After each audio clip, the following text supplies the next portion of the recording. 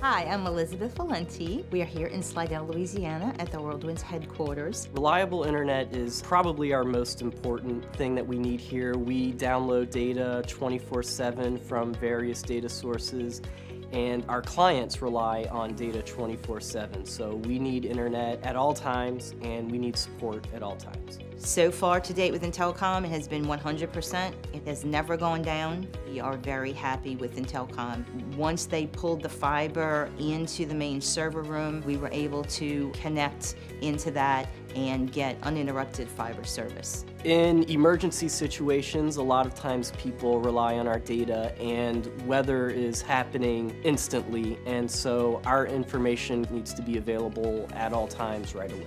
We have the confidence that In-Telecom will be able to, to keep us up year-round and especially during hurricane season and that we will not go down there's a critical situation.